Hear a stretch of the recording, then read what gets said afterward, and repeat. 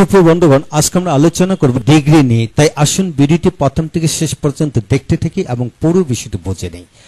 আজকের ভিডিওটি Khan method, a complete book of written spoken English grammar. এই বই থেকে নেওয়া হয়েছে। এই বইটি সম্পূর্ণ বাংলা অর্থ সহকারে এবং ভিডিও লেকচার আলোকে তৈরি করেছে। ইতিমধ্যে এই বই থেকে তিনশো থেকে সাড়ে তিনশো ভিডিও লেকচার তৈরি করা হয়েছে। সেগুলি ফেসবুক এবং ইউটিউবে আপলোড দেওয়া হয়েছে। যারা ভিডিওগুলো দেখেননি বা দেখেছেন, তাদেরকে ওয়েলকাম যারা দেখেননি, তাদেরকে দেখার জন্য বিশেষভাবে বলব। এবং এছাড়াও যারা ভিডিও লেকচার মানে মানে এছাড়াও যারা যে সকল ভিডিও লেকচার দেখতে চান, তারা কমেন্টস বক্সে কমেন্টস করে জানিয়ে দেন। আমরা লিঙ্কগুলি দিয়ে দেবো। এছাড়া ইংরেজি বিশ্ব যে কোনো ধরনের সমস্যা যে কোনো ধরনের প্রশ্ন আপনাদের যদি জিজ্ঞাসা থাকে, তাহলে কমেন্টস বক্সে লিখে দেন। তাহলে আমরা উক্ত জায়গায় উত্তর দিয়ে দিব এবং সেই ধরনের ভিডিও লেকচারগুলো আমরা তৈরি করে দেব। হ্যাঁ বন্ধুগণ, এখন আসুন। আমরা ডিগ্রি নিয়ে আলোচনা করব। ডিগ্রি কি এবং কত প্রকার? অ্যাডজেক্টিভ এর তুলনাকে ডিগ্রি বোঝায়। ইহা তিন প্রকার, যেমন পজিটিভ কম্পারেটিভ সুপারলেটিভ হ্যাঁ বন্ধুগণ, এখন আসুন। পজিটিভ ডিগ্রি কাকে বলে এবং এই ক্ষেত্রে কত ধরনের বাক্য পাওয়া যায় সেটা আমরা একটু জেনে নিই। হ্যাঁ যে কোনো ধরনের অ্যাডজেক্টিভকেই পজিটিভ ডিগ্রি বোঝে এবং যা কোনো একক ব্যক্তির বস্তুর প্রাণীর গুণাগুণ প্রকাশ করে।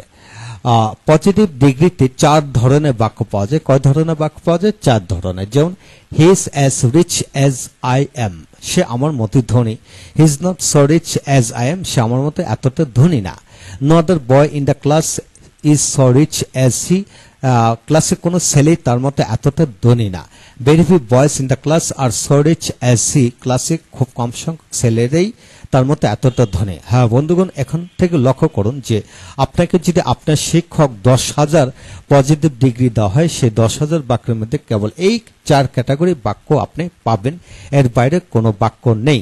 তাই আপনার কাজ হলো এই চারটা বাক্য আপনি বাংলা অর্থসাগরে শিখে ফেলুন এবং প্রতিটা বাক্যের আদলে কমপক্ষে বিশটি করে বাক্য নিজে থেকে বানিয়ে পড়ুন, তাহলে অন্তত সমস্ত জীবনের জন্য পজিটিভ ডিগ্রির যত বাক্য আছে আপনি রপ্ত করে ফেলতে পারলেন।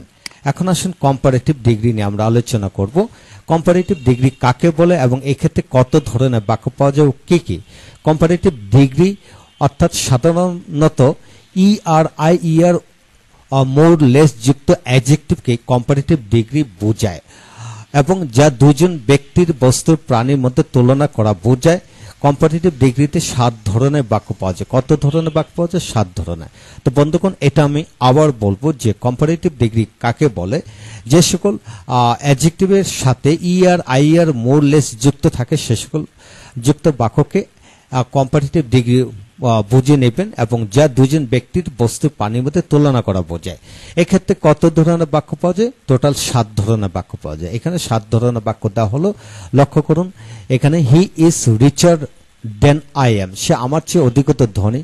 He is not richer than I am সে আমার মতে আমার চেয়ে অধিকতর ধনী না। He's he is less rich than I সে আমার চেয়ে কম ধনী। He is not less rich than I সে আমার চেয়ে কম ধনী না। He is richer than any other boy in the class সে ক্লাসের যে কোনো ছেলেদের চেয়ে অধিগত ধনী। He's richer than all other boys in the class সে ক্লাসে অন্যান্য সকল ছেলেদের চেয়ে অধিগত ধনী। He is richer than most other boys in the class সে ক্লাসে অধিকাংশ ছেলেদের চেয়ে অধিকতর ধনী। হ্যাঁ বন্ধুগণ, এটি আপনাকে খেয়াল করতে হবে যে, ধরে নেন আপনাকে আপনার শিক্ষক সাত হাজার কম্পারেটিভ বাক্য দেওয়া হলো। সাত হাজার বাক্যের মধ্যে আপনার লক্ষণীয় হলো। এই সাত হাজার মধ্যে, এই সাত ধরনের বাক্যই পাবেন। এর বাইরে কোনো গঠনের বাক্য নেই। তাহলে আপনার প্রথম কাজটি হলো, প্রতিটা বাক্য দিয়ে কমপক্ষে বৃষ্টি করে বাংলা অর্থসাগরে লিখে লিখে পড়ুন।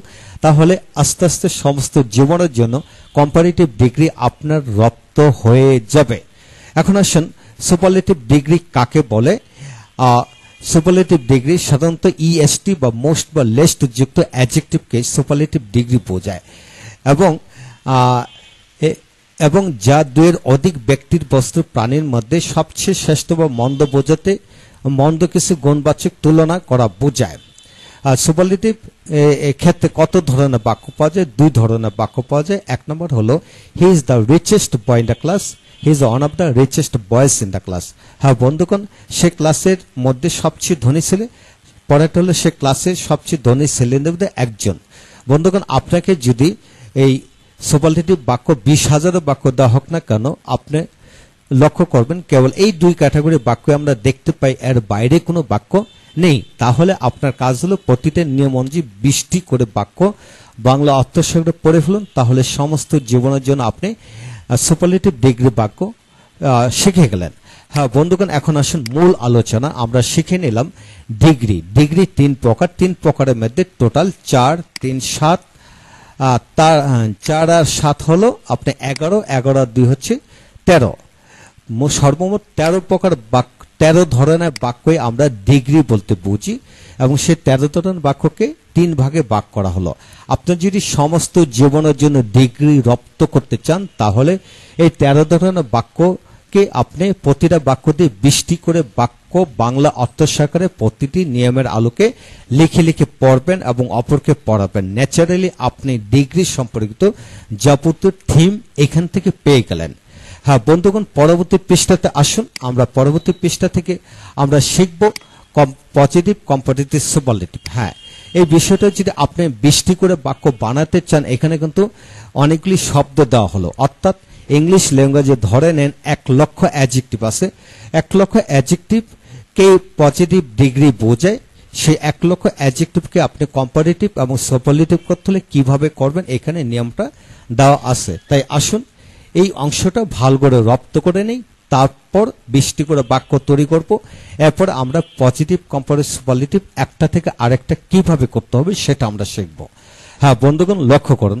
পজিটিভ ডিগ্রি বা অ্যাডজেক্টিভের এর সাথে আর বা ইয়ার যুগে কম্পারেটিভ করতে হয়। হ্যাঁ বন্ধুগণ, প্রতিটা অ্যাডজেক্টিভের সাথে আর বা ইয়ার যুগে কম্পারেটিভ করতে হবে আর এসটি বা ইএসটির যুগে সুপারলেটিভ করতে হবে। এখানে দেওয়া হয়েছে। এছাড়াও তবে কিছু ব্যতিক্রম ধর্মী আছে, যেমন অ্যাডজেক্টিভ যদি বড় শব্দ বা একাধিক সিলেবল বিশিষ্ট হয়, কিংবা ইয়ার ইএসটি যোগে উচ্চারণ করতে ভুল হয় বা উচ্চারণ করা যায় না, তাহলে তাদের পূর্বে মোর বা লেস্ট লেস যোগে কম্পারেটিভ আর মোস্ট বা লেস্ট যুগে সুপারলেটিভ ডিগ্রি গঠন করতে হয়। এখন লক্ষ্য করুন, আমরা এই কিছু বাক্য, শব্দ পড়ি, তাহলে বুঝে বুঝে যাব। যেমন fine finer finest blow blower blowest brave braver bravest rich richer richest poor poorer poorest clean cleaner cleanest black blacker blackest bright brighter brightest great greater greatest long longer longest বন্ধুগণ, এইভাবে আপনার আপনি হাজার হাজার এই জাতীয় অ্যাডজেক্টিভের সাথে ই আর যোগ করে কম্পারেটিভ ইএসটি যোগ করে সুপারলেটিভ তবে যদি সাথে ই থাকে, শুধু আর হবে আর ইএসটি হবে, আর যদি ই না থাকে ই আর ইএসটি যোগ করতে হবে। এখন আসুন, পরবর্তী অপশন অংশ হলো যেমন বিগ বিগার বিগেস্ট ক্ষেত্রবিশেষ ডাবল অক্ষর হয়। যখন কোনো অ্যাডজেক্টিভের সাথে যখন অন্যান্য অন্যান্য সাফিক যোগ করবেন সাফিক যোগ করার পর যদি শেষ অক্ষরের প্রতি জোর পড়ে, তাহলে উক্ত শব্দটি ডাবল হয়ে যায়। যেমন thin thinner thin thinner thinnest sad sadder saddest fat fatter fattest red redder reddest hot hot hotter hottest এইভাবে শব্দগুলো হবে। এখন আসলে শব্দ অ্যাডজেক্টিভ শেষে ওয়াই ওয়ার পূর্বে কনসোনেন্ট থাকলে ওয়াই এর পরিবর্তে আই বসে ইয়ার যোগ করতে হয়। কীভাবে লক্ষ্য করুন? যেমন early earlier earliest busy busier busiest happy happier happiest lazy lazier laziest এখন আসুন beautiful more beautiful most beautiful যখন যখন বড় বড় শব্দ থাকবে, তখন তাদের পূর্বে মোর বসে সুপারলেটিভ কম্পারেটিভ বা সুপারলেটিভ মোস্ট বসে করতে হবে। তো এখানে আসুন, বন্ধুগণ, কিছু ব্যতিক্রম ধর্মী শব্দ এখানে দেওয়া হলে, সেটা নিজে থেকে বানিয়ে শিখে নিজে থেকে লিখে লিখে পড়ে নেবেন। হ্যাঁ বন্ধুগণ, আজকের আলোচনা থেকে আমরা শিখে নিলাম। প্রথম আলোচনা থেকে শিখলাম পজিটিভ কম্পারেটিভ সুপারলেটিভ টোটাল তেরো ধরনের বাক্য। কীভাবে হলো? গঠন প্রণালী সহকারে দেওয়া হলো। দ্বিতীয় অপশন থেকে আমরা শিখে নিলাম এখানে হাজার হাজার অ্যাডজেক্টিভকে কীভাবে পজিটিভকে কম্পারেটিভ সুপারলেটিভ করতে সেগুলো শিখে নিলাম। এখন তৃতীয় পৃষ্ঠা থেকে আমরা শিখে নেব কীভাবে ডিগ্রি চেঞ্জ করতে হয়, অর্থাৎ পজিটিভ কম্পারেটিভ কীভাবে চেঞ্জ করতে হয়, এই এই অংশটা আমরা দ্বিতীয় ভিডিওতে আমরা আলোচনা করব। আপনারা দ্বিতীয় ভিডিওটি দেখুন ইনশাল্লাহ পুরো বিষয়টি বুঝে নেন। ইনশাল্লাহ ভালো থাকুন পরবর্তী ভিডিওগুলো দেখুন। Thank you very much